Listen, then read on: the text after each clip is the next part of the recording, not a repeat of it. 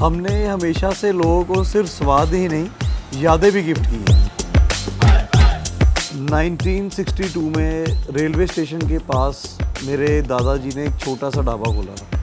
और हमारा butter chicken जो दार्जिलिंग में था, वो फ़ेमस होना शुरू हो गया। अल्टीमेटली दोनों चीज़ें कंबाइन होकर बाबा बटर चिकन बन। फादर ने 86 में उन्हें ज्वाइन किया और 1991 में मॉडल टाउन में एक हमने नई ब्रांच सेटअप की।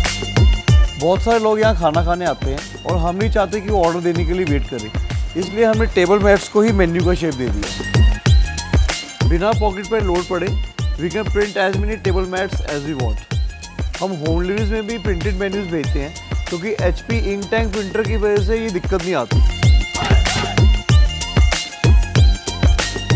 चाहे जितने मर्ज़ी लोग आ जाए, कभी किसी चीज़ की कमी नहीं आती। ना ही स्वादिष्ट खाने की ना ही प्यार की और ना ही सर्विसेज़ की।